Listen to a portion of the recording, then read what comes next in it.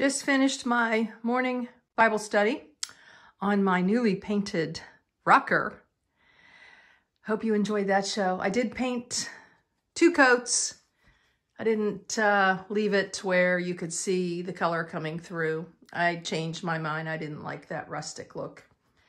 I like the solid. And this is today's project. Yes, these tables have memories as well. This three-tier heart table has been with me everywhere.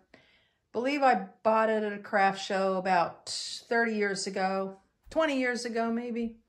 And it has been painted once. It was pine, I do believe.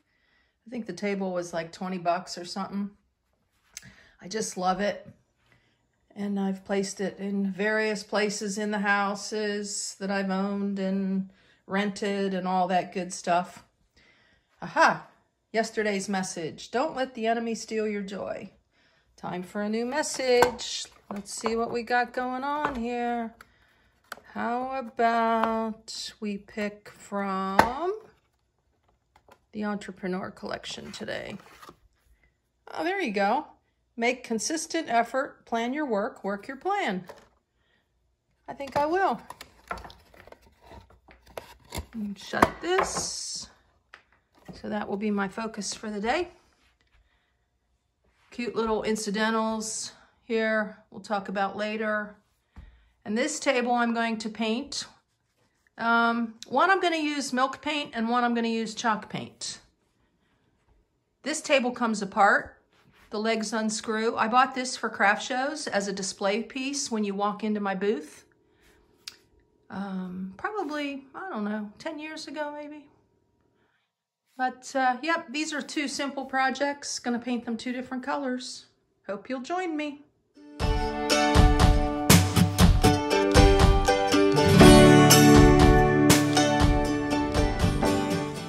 Here, serene and simple life. New day, new project. I'm excited. Today, we're going to do an easier project than uh, the rocker that I did and showed you already. Hope you enjoyed that. It's a little round table. It does all come apart, but I tried to, I think you need a special um, cranking tool to get it apart, so I'm going to paint it. I'm going to leave it all together. I put my table up that I store on my porch. Literally last minute, I decided to paint this Highland Blue. Here's the color. I've already stirred it. It's a pretty color. I was trying to match it to the color in the carpet. Whew, I spent days looking for the right color in daylight, nighttime, different lighting. And I thought I had nailed it, and I don't think I did. So I'm just gonna I'm going to just accept it rather than return it because I'm excited to paint this and uh, get away from the stark white. So with no further ado, I do have another project too, so today that I'm going to show you. Let's start with the tabletop. Let's start with the big. Hmm, I should have, uh, I thought I had cleaned it well, dusted it. So I'll just a little mark there. I probably won't be showing you like as I paint the whole, the whole shebang here. Let's see how this color is going to turn out. I know we can always change it if we don't like it, right? I'm using my go-to brush the one with the slant. I don't know, can you see that it's slanted? I've got a tarp on the floor for those of you who might have not seen the last show where I painted the rocker. And this is a dry for 30 minutes or let it set for 30 minutes and then do a second coat. This is milk paint. It's Rust-Oleum. It's less expensive than the paint I used for the rocker. And you can see all of these colors and things that I'm using in my Amazon wish list where I'm an affiliate and you know the rest, right? I have to uh, disclose that, making a small commission. I hate saying that all the time, it, like gets old. Uh, yeah, we're gonna definitely need a second coat. Maybe, and it's shiny, so the lines come through. No, I didn't sand the rocker, and that had a, like an, a, a lacquer, but it turned out really nice with that paint. This ran me about $21 for 32 ounces. And the, the other paint was, I think, about 26. I wanted to get a smaller, but it didn't come in smaller. So here it is, Rust-Oleum Milk Paint. Can you see? I'm being dangerous by holding that up while it's open. I've got a little tray table on the side. I'm pretty excited by this. And I think I'll take my little smaller brush to do the spindle, the spindles. And then, um, I don't know, we'll just be flipping it around. This is easy peasy compared to tackling that rocker. And the rocker turned out beautiful, I must say. I must say so myself. At least I like it. There's some little bit of flaws, you know, a couple drips that I didn't catch or something like that, but I don't know. That's just part of the fun of doing this yourself, right? You make mistakes, you go on. Woo! Cool. the color is, huh, the color's a little bit more green than I wanted. Hmm. But it is a color that's, I think it's pretty in style, right? I could not find for the life of me a teal color that matched the carpet. That's okay. It's still going to be pretty and you can blend lots of different colors and blues together, right? Just like the ocean, just like a sunset, I'm blending blues. I'm bringing nature inside. I think it already looks better as I just go over a little bit right now. I always have that temptation, you know, to just want to paint it right now. Okay, I think I need to stop and we'll get the bottom later. I probably should put my readers on. So, yeah.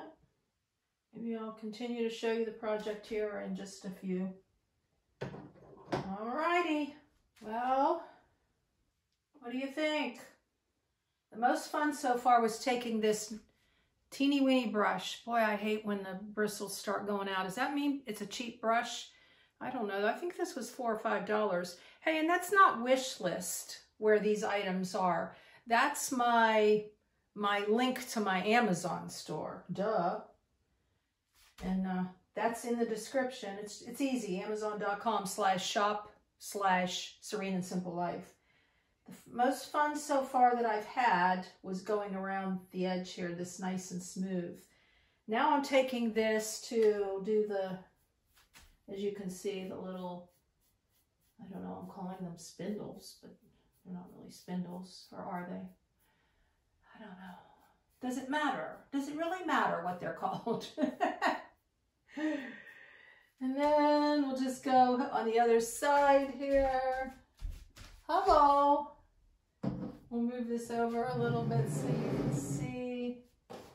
And take our time, go around. Not too shabby. I decided uh, to paint this, the Highland Blue, and the Heart Table, the mustard, or the vintage mustard.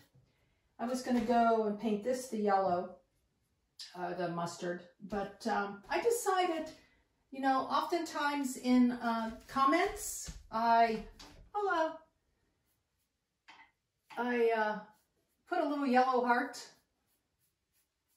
with your comment, a little sunshine. So I'm going to call it my sunshine heart table. You know how I like to give things names.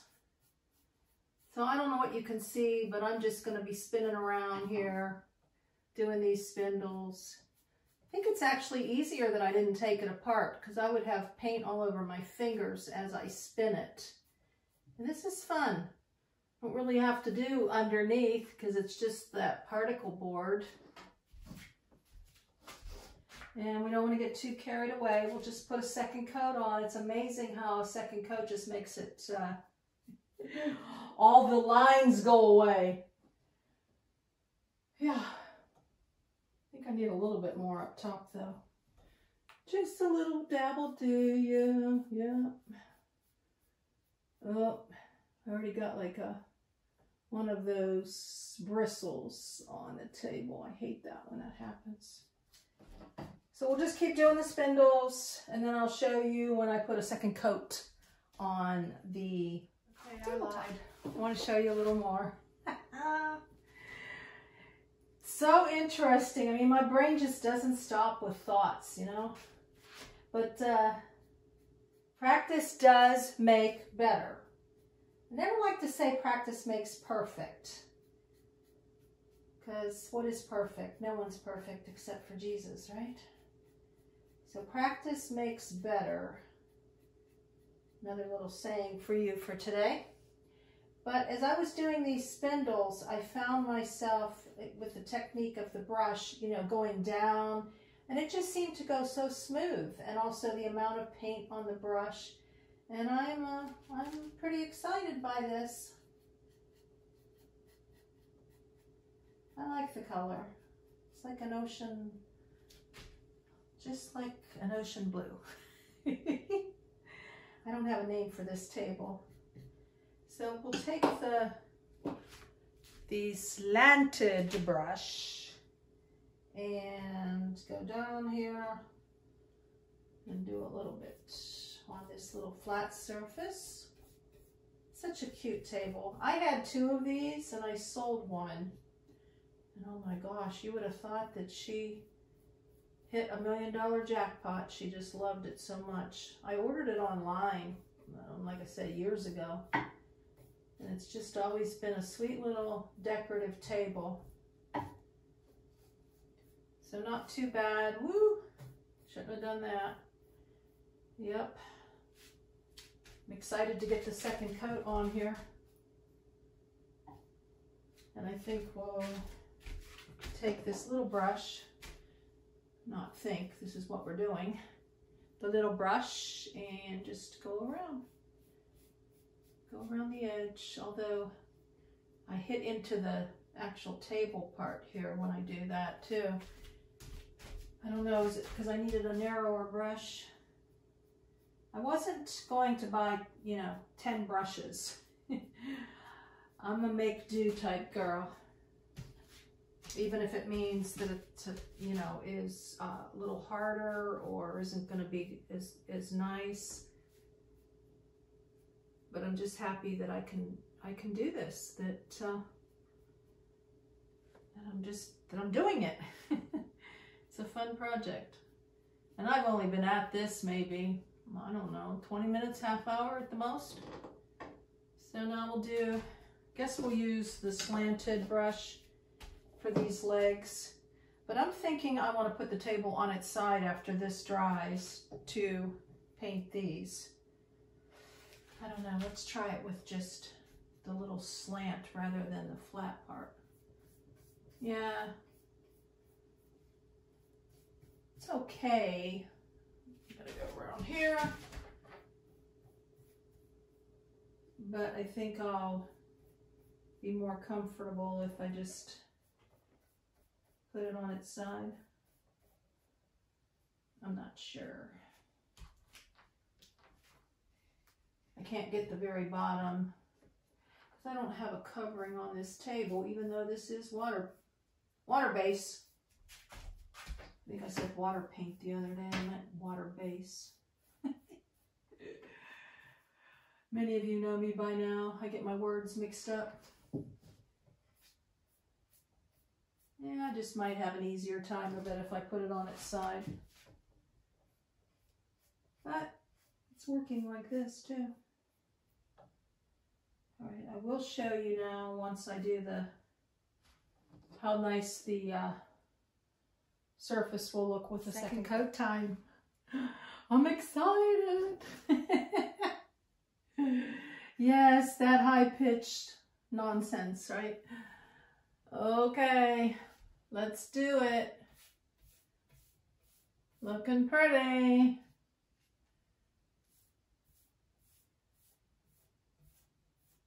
This is like the most fun whenever you know that it's going to cover all these white lines and all these brush strokes and you get to see like your finished product.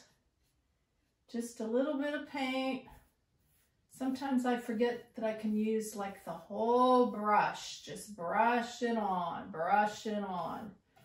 Just getting used to the whole, yep, not aspiring to be a furniture painter as I mentioned, but uh, by time I'm done with these four different pieces, I, I will uh, maybe know a little bit more about what I'm doing. Looking pretty, huh guys? What do you think? You like it? And I'm also now going to use this Highland Blue on the keepsake wood boxes. For those of you who are new, you've got to go to sayitdisplayit.com. I design daily inspiration cards and they come with a uh, beautiful keepsake wood box in two different sizes. So uh, this, these, the picture of this paint and these boxes are not on my website yet. So you would have to put in the comments, I want a Highland blue box.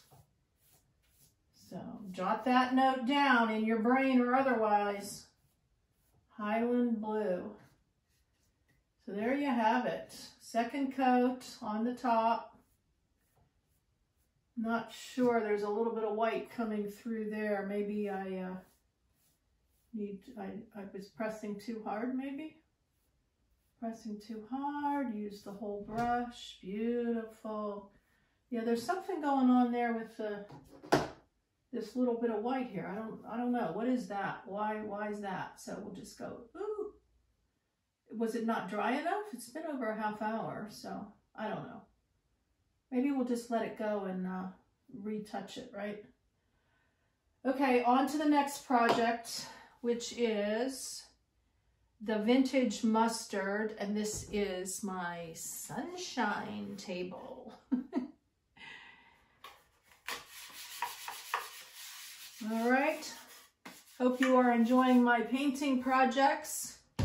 Hope this will also inspire you to do some uh, facelifts on some of your furniture, either using milk, milk paint or chalk paint. I will be uh, painting boxes in vintage mustard as well. So that'll be the next show. And with that, blessings in your day. Enjoy in your journey and in your paint projects, in your paint facelifts.